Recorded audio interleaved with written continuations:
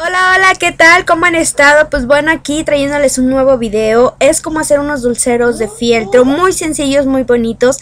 Eh, espero que la idea que te traigo te guste y que te agrade.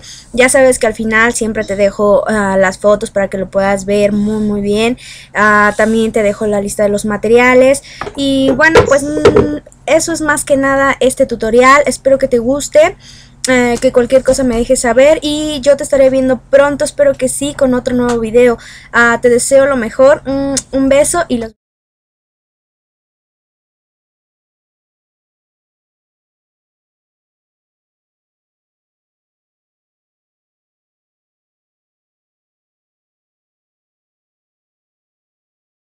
primero que haremos será utilizar nuestro rectángulo de fieltro.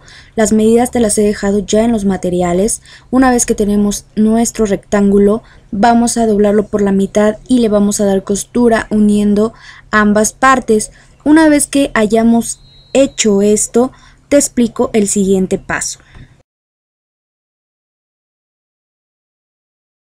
dimos costura, ahora utilizaremos una perforadora que sea manual y de preferencia con un orificio amplio. ¿Por qué? Bueno, porque también las hay eh, de orificio pequeño, pero pues esta no nos sirve por el momento. Ya tenemos nuestra perforadora, ahora marcaremos unos pequeños círculos en cualquiera de las partes de nuestro dulcero.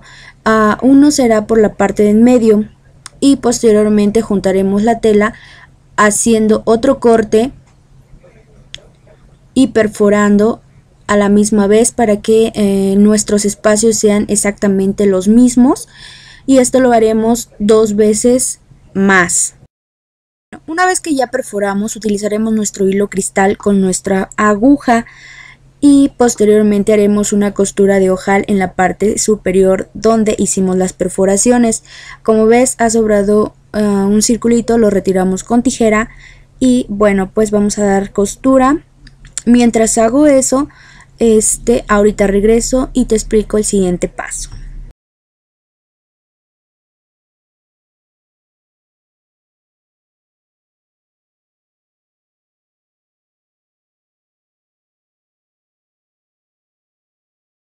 Como puedes fijarte así nos debe de caer en la parte superior, ahora le daremos vuelta a nuestro dulcero y Uh, posteriormente haremos lo siguiente. Una vez que ya tenemos perforada y la costura reservaremos un momento. Usaremos un CD de música o de video que no te sirva y lo pasaremos en foamy uh, dibujándolo y posteriormente recortando cada círculo.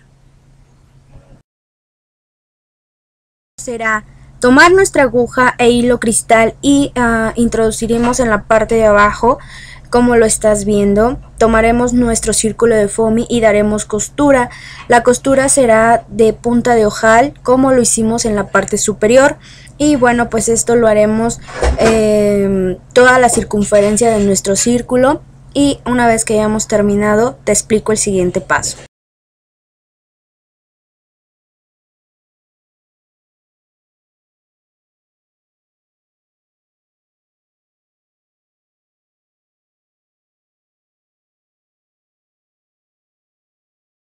Una vez que hemos dado costura en la parte de abajo a nuestro dulcero, como lo puedes ver, pues vamos a reservar por un momento.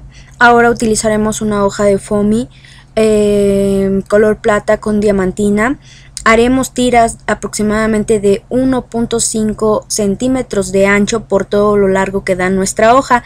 Eh, esto con la finalidad de hacer letras como les decía, haremos letras y eh, con las letras formaremos el título de mis tres años Dani. En tu caso lo puedes utilizar para cualquier fiesta. Eh, puede ser bautizo, puede ser primera comunión, puede ser este el primer añito, como tú lo prefieras. Como ves, he avanzado ya cortando algunas letras. Ahora tomaremos nuestro dulcero y pondremos la costura en la parte de atrás para que nuestro frente eh, esté totalmente liso y nos quede céntrico lo que serán las letras. Ahora colocaremos silicón en cada letra y como ves ahí pondré el número 3 porque en este caso son sus 3 años de mi bebé y posteriormente las palabras que faltan.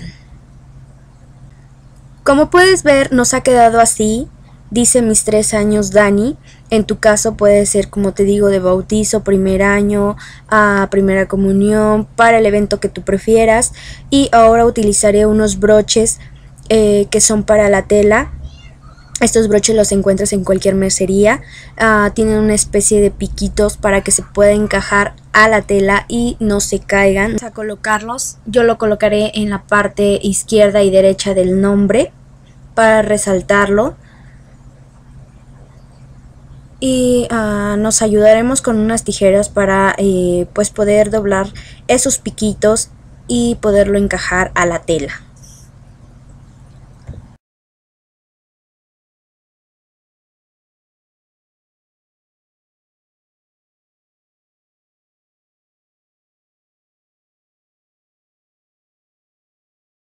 Como puedes notar ya he colocado el primer broche, ahora lo haré del otro lado.